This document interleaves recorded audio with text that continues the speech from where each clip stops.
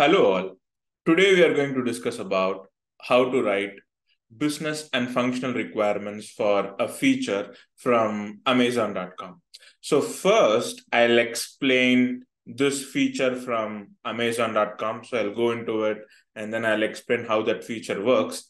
So once I explain it fully and once you understand it, I'll share my screen and I will write the business and functional requirements right in front of you so that you can understand it better. So it's going to be real time that. And before we go into the topic, please do hit the subscribe button and please do hit the like button if you want to see more of this kind of content. So yeah, let's go into the video and topic. What we are going to do now is we are going to take Amazon application as an example. And I'm going to show a specific feature, explain what that feature does, and then we will write the business and functional requirements for it. That way, you will know how to write business and functional requirements. Now, one point to note in real time, we write the business and functional requirements, they'll code it, then comes the feature, then the feature gets generated, right? But now we are doing it in the reverse. I want you to show the feature first, and then with reference to that feature, we are going to write business and functional requirements so that you can understand better. Okay, so don't get confused. Having said that, let's go into the specific module that I'm going to show you and I'm going to pick a feature and we are going to write the business and functional requirements for that.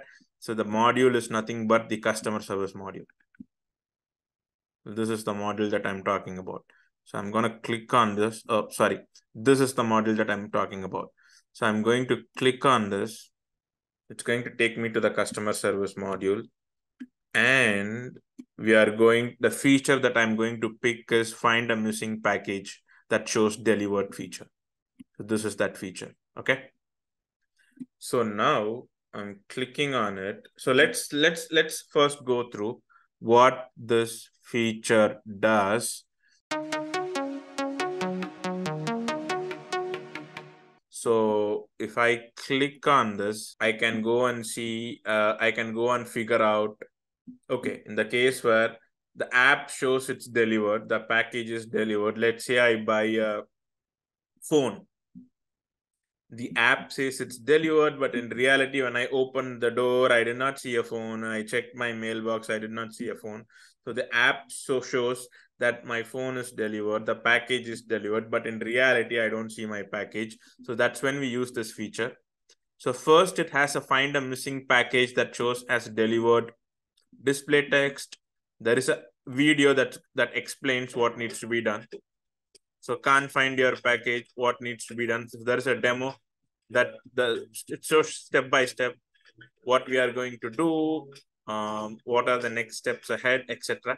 So we are not going to go through that. But yeah, so this video in a nutshell tells you what you should do step by step if you don't see your package and the app shows that the package is delivered ask the relevant carrier if there is more information about the location of the package. So if there is a specific carrier, they also give you the option of contacting them to get more information. So if I click on this, I get all the carrier information, carrier information. There's UPS, US Postal Service, Amazon, so many other carrier information so that you can call them and, and, and inquire about your missing package. And there's also a dialog box that shows whether this information was helpful or not. So this is the feature that we are going to document. Um, so step number one, click on customer service. Step number two, scroll down, you will see this feature. This is the feature that we are going to document. In the case where there is a package that goes missing, I don't see my package. I click on this, then I go through this video. This video tells me what I should do. And the, the this feature also gives me the ability to contact carriers uh, and figure out where my package is. So I'm going to write the business requirements for this. So let's break this down step by step. Let's first document the button. Um, so So the name of this page is um, the customer service page. What will be the first business required? The system shall provide the, and what's the name of the system? Amazon. That's the name of the application. So you need to put the name of the application in here. So the Amazon system shall provide the ability to search for missing packages. So that's the business requirement. So I'm just gonna put it into a table. So I just need to do insert and then table. And I'm just gonna put this in here. PR one, and this is going to be pasted in here. I don't think we need this column. So we can delete this. Now, first functional requirement will be a carbon copy of what's in here. So I'm just gonna copy and paste it. It's gonna copy this, I'm gonna paste it. FR 1.2 Amazon system. So what's next? Shall provide the ability to for the user to um, the Amazon system shall provide shall educate the user about the next steps ahead if there is a missing uh, missed package or a or the case where the package is not there and the app shows it's delivered. So the amazon system must show a how to uh, video on what to do next if there is a package uh, that the app shows it's delivered and in reality it's not delivered. So i'm going to write the functional requirement for this video. The amazon system shall educate the user on the next steps ahead. If the package is missing and the system notifies the user that the package is delivered. So that's this video. Next one is carrier contact information. So let's write a functional requirement for this.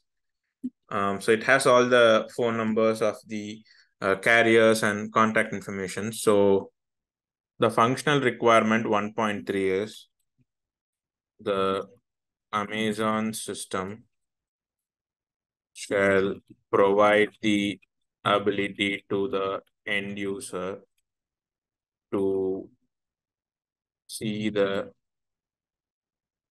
relevant carrier details, which includes phone number, email, and address. So I'm just talking about all the information, all the contact information that you see in here. Mm, I think just in a hypothetical scenario, you will also get to see the email and the address. So I don't see it here, but then let's think of a hypothetical scenario where you do see the uh, email and address. So that's this. And apart from this, uh, let's talk about this feature also. Let's document this feature also. Was this information helpful? So, and you can give a yes or no, and you'll get the feedback. So FR 1.4, the Amazon system shall provide the ability uh, to the user to give feedback on whether the carrier details, relevant carrier details that are displayed is helpful or not. So this is the, uh, this is another uh, functional requirement. Which is going to cover this feature. And we covered this feature and we covered um, the the video that we saw. So all these things are covered. Um, so we have covered this video feature that you see. We have covered this button. We have covered all these display text.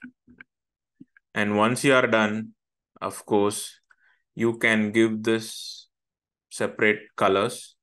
Okay, now this looks good. Hope you are able to gather something of essence from this short video.